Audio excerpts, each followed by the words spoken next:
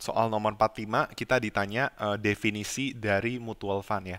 Jadi mutual fund itu yang perlu kita ketahui adalah bahasa Indonesianya adalah uh, reksadana ya. Um, apa bedanya? Uh, sering kali reksadana itu uh, dikait, uh, dikaitkan ya ada ada reksadana, ada tiga hal, ada reksadana, ada saham, ada obligasi. Maksudnya ketika kita ada, kita mau alokasikan uang kita itu uh, bukan untuk uh, sering kali orang bilangnya kalau mau investasi saya taruh di saham atau reksadana. Nah, tetapi sebenarnya itu nyebutnya bukan investasi ya, harusnya menabung. Nah, kenapa disebut menabung? Ya, mungkin kalian agak asing ketika di uh, saya bilang menabung saham atau menabung reksadana. Kalian pasti agak asing karena umumnya orang taunya hanya uh, investasi saham gitu ya atau investasi reksadana. Nah, ini saya akan jelaskan di soal berikutnya karena di soal berikutnya ada nih soal seperti ini ya apakah yang benar itu menabung saham atau berinvestasi saham? Karena yang populer itu investasi saham, tapi yang benar adalah menabung saham. Nah, jadi saya bilang aja ya, menabung kita punya dua pilihan. Biasanya pilihan untuk menabung itu antara saham atau reksadana. Nah, ada orang yang preferensinya itu uh, dia prefer untuk reksadana, ada yang prefer untuk saham.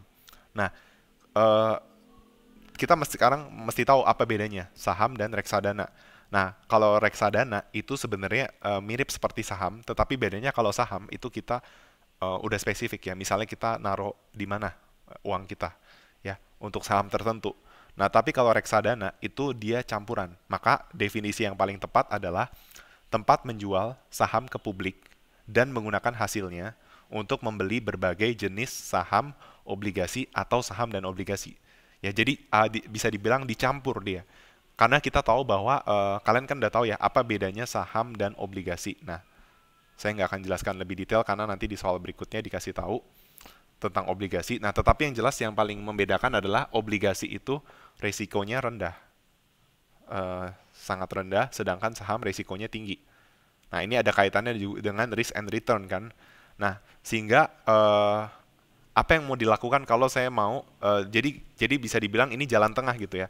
Ketika saya main obligasi memang resikonya rendah gitu.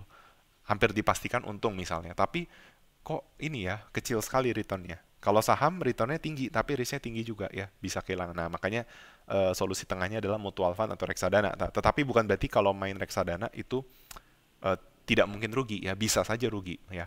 Semua ada kemungkinan uh, ada risiko ya untuk rugi seperti itu. Nah tetapi reksadana tuh ibaratnya resikonya di tengah-tengah saham dan obligasi.